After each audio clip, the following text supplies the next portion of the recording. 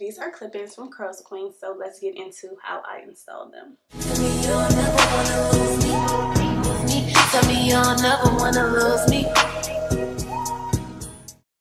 Hey you guys, welcome or welcome back to the channel. I'm Jaterra Bria'Na. Thank you so much for tuning into today's video. While I have you, go ahead and click the subscribe button if you haven't yet and make sure that you turn on your push notifications so you never miss a video from me. Y'all already know I am your DIY queen. I teach y'all how to be a baddie on a budget, which is exactly what we're getting into today with some clip-ins, alright? Baby, if the clip-ins ain't from Curls Queen, then I don't want them, okay? I love Curls Queen down. Thank you to them for sponsoring today's video. Love how every time Curls Queen sends me a package, they send me a new bonnet. It's reversible inside and out. Um, this is the best bonnet I've ever had because it has the elastic string that you can tighten to your head. They always send me over a brand new brush. Love these down.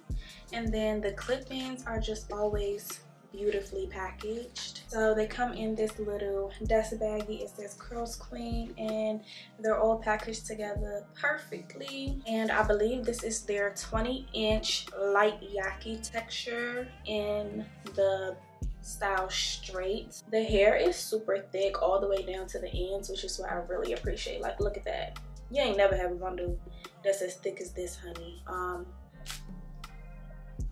and the luster on the hair is just beautiful. This really gives my texture to the T. The last so I'm about to get these open. Of course, I will have all the links for you guys down below. If I have a discount code, I will put that for you guys on the screen.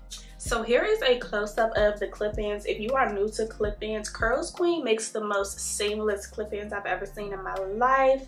They are undetectable when you are wearing them. They're super easy to blend with your natural hair, regardless of your hair texture or the thickness or thinness of your hair. It's just super easy to blend them in. The clips are extremely durable, so you don't have to worry about them sliding out of your head.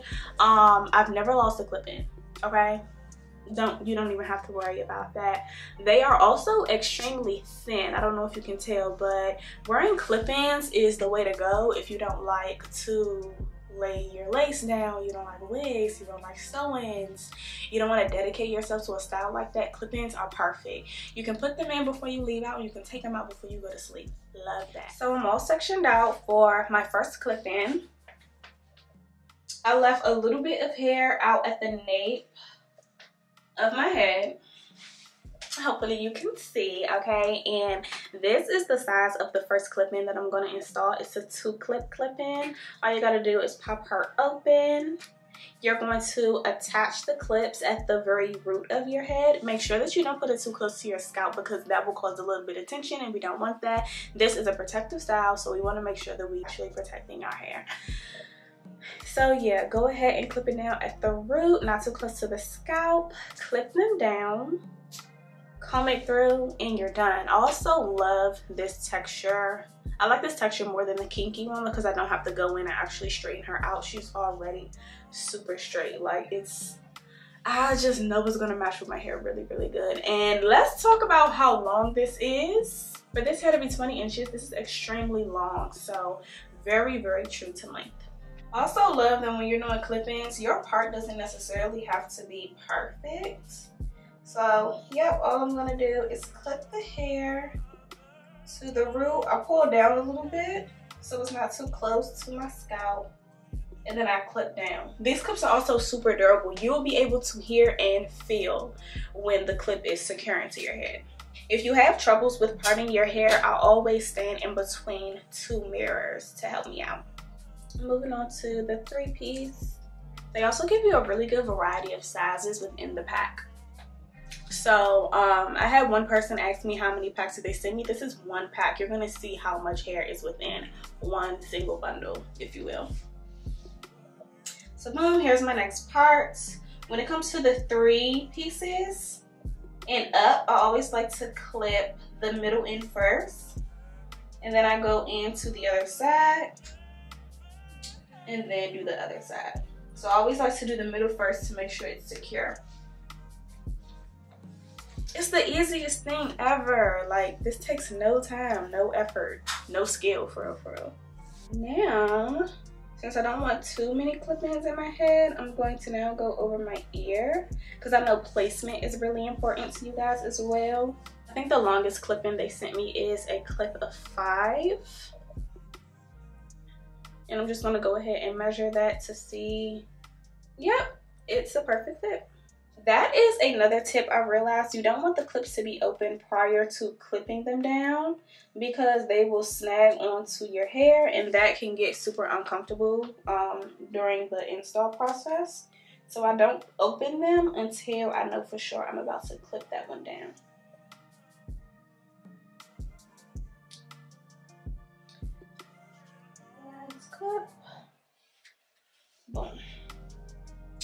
Right, let's pause comb her all together so we can see how she's looking so far. This looks like the beginning of a sew-in. Like it's so seamless. Now for me personally, the density of my hair right here tends to be a little thinner around like where people would recede at.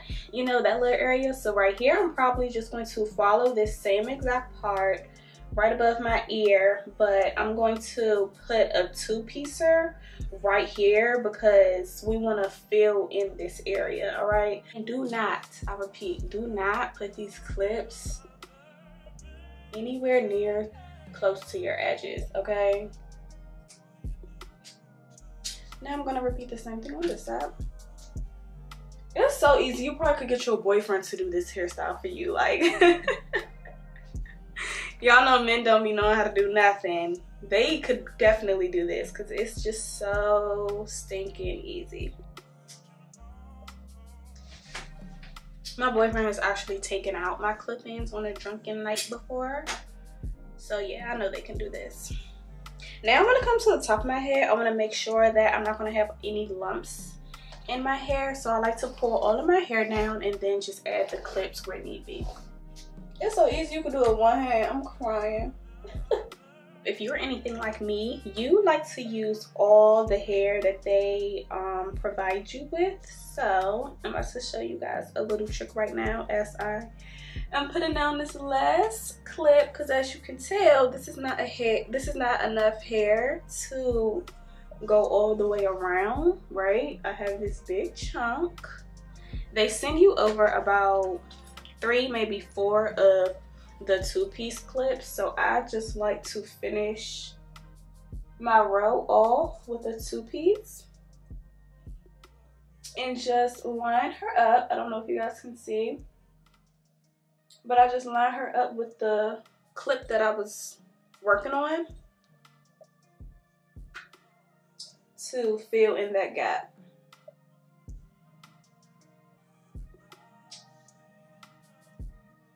And now it goes all around the head perfectly. Uh, it feels so good knowing that you are on your last row. Even though this took no time to do, I think it took me 19 minutes so far to install these. Okay, gonna comb that through and then try my best to find my middle part again.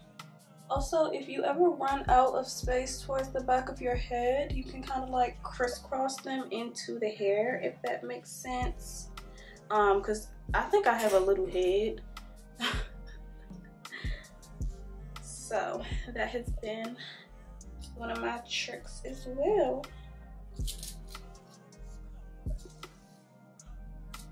Now, this hair is a little bit darker than my hair. I don't think you guys can tell on camera, but um, I can definitely see where my hair stops. It's a, it's very obvious because my hair is a little bit lighter than it. Let me show you guys the actual length. This is how long they are and I just got these hair cutting shears from Amazon. I can link them down in the description box below because I love these. Okay, they'll be linked on my Amazon storefront. I think I'm gonna start here and go down. And I'm just gonna cut, but I'm like slowly bringing my shears down. All right, so are they both even? Not at all. Is it the best cut? Not at all. So this is what it's giving from the back. Okay guys, so off camera, I went ahead and put in some really pretty juicy curls just so we can really see how well the hair responds to heat. When it comes to straightening it we know it can get straight but can it get curly? And it definitely can. Um, i left one piece of hair right here to show you guys exactly how i did it in case you want to replicate it at home. I did these with flat irons. Um, i cannot find my one curl to save my life. But went ahead into my same flat irons that i used earlier to straighten the hair and what i did was put the flat iron behind the hair and then I wrapped my hair in between the two plates like so. And then I pull down and it's gonna create this really really pretty curl. This hair curls up gorgeously. Also another thing i did is um, as you can tell you don't see that line of demarcation anymore with my natural hair. I went ahead and pulled my last clipping up just a little higher so it can hide more of my hair so it can blend a little bit more seamlessly. That's another trick that you can do when blending your clip-ins but y'all these curls are to die for. Okay i can't wait until they kind of like fall a little bit. I'm gonna go ahead and touch up my edges so yeah guys remember that everything you need in terms of getting this hair should be linked in the description box down below for you guys I'll have the direct link. I believe I put my coupon code on the screen already so you guys can save money at checkout so we can be some fly baddies on a budget together. This eats down. It looks so stinking good. So yeah, you guys, that really wraps up this video. Thank you guys so much for tuning in. Please be sure to give me a like and I'll see you guys in the next one. Bye, mamas.